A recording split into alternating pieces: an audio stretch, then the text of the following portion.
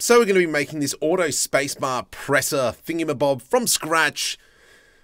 Files will be somewhere, I don't know, download them from below. So you've already seen the final product, um, but I'm going to be using Blender. I'm not much of a Tinkercad person, but I am going to try it once again soonish. But Blender is very basic. The fact that we can manipulate every um, vertice. The other thing as well is one Blender unit is one millimeter. First thing I'm going to do is I'm just going to look at the schematics of the servo. Can't be stuff measuring it. It's online. Just jumped onto the Core Electronics website. Great company. Just going to save that image back into the blend file. There it is. Click and drag that in just so I've got reference. And so let's just kind of like go ahead and create that box. All I'm going to do is pretty much create this bottom section. So 22.5, 23 by 12.1, 12.5. so I'm just going to set the origin point to be in the middle here. And now over up here in the top right hand top right hand corner, I can now kind of create the box how I see fit. So uh, along the x-axis, we'll go this way, 22.5. We said 23 millimeters. Here we went 12.1. Let's go 12 and a half, just to give it a little bit of extra wiggle room, 12.5. And how high is it?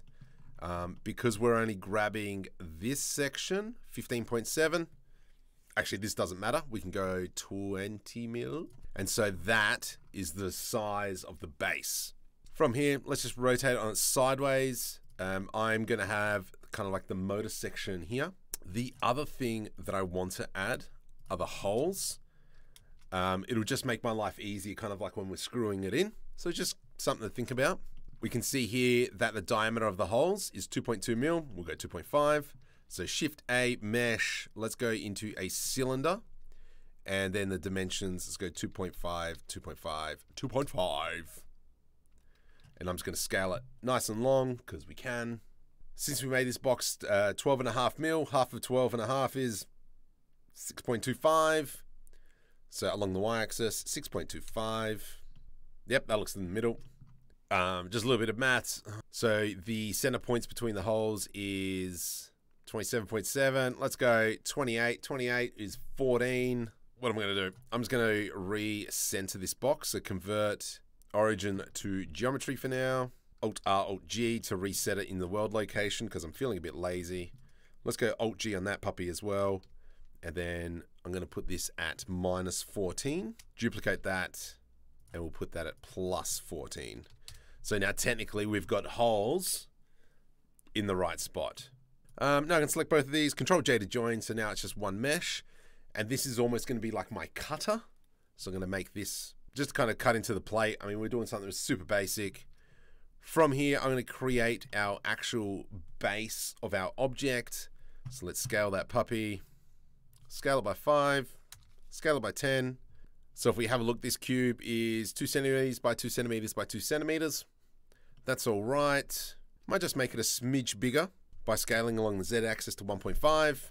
Let's put an edge loop down here. So with the control R, just adding some extra geometry. And I'm just going to make it minus 13. Um, and then that way it's kind of like this two millimeter plate. We can grab this and I might go extrude 50. So extrude that by 50 mil. And then I'm also going to give it a little bit of support on this side. E to extrude 10 millimeters. So we've got something like that. Now, I am always thinking about 3D printing. And so this is the way I'm going to 3D print it so it's on kind of like a flat surface. Um, and because we're going to have a hole cut in here, yeah, no supports. Excellent. Good thinking, Marko. Um, let's now grab this surface and bring it back because obviously the motor is bigger than this hole. So let's just go GX20. And so that means now when we kind of like put this into place, like about here-ish, that should give us plenty of room. I am actually going to bring this surface back. Now, for the reason is the bottom of the servo, if we kind of actually have a look, we've got a wire and we've got plenty of room here. And so because we're going to have it sitting like this, hold on, Marko, because we're going to sitting it like this, that cable needs to stick out.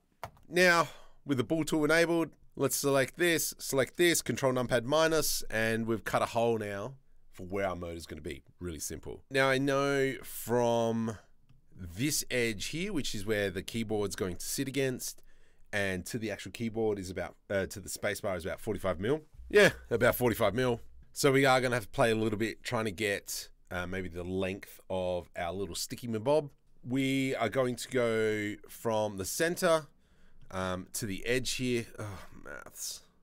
I'm assuming that if it's 12 mil in thickness, this diameter here is probably 12 mil. Yeah, that looks good. So the radius is 6 mil. So 6 mil from the edge, that's where our circle is going to be. So I think if we make a 50 meter, 50 meter, 50 millimeter arm, we should be fine. So just create a little cylinder for that top bit there. And then I've also done a two millimeter hole here. Just when I put a screw in, it just makes life a lot easier. Select both of them, select our object down here, control numpad minus, done. Cool, let's export. Very simple, file, export, STL. And we're gonna export these individually. Make sure we go selection only. This one is arm, and then this one here, file, export, STL, uh, body. So I'm just going to be using the Creality slicer since I've got a Creality machine. Let's open it up. Select both our objects. And what I want to do is obviously rotate to the direction I want them to print. I'm Going to select the body. We can go rotate and select the surface that I want lying flat. Select the object, select the surface that we want lying flat. Done. Um, from here, just going to move everything in just so it's a little bit closer.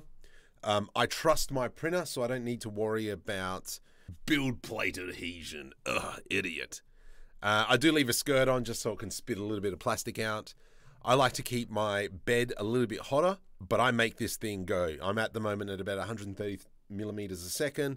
This is for a CR10 Smart Pro. Initial layer though, I will keep it at 40 just to start it off, make sure we do get that good adhesion and then let it go.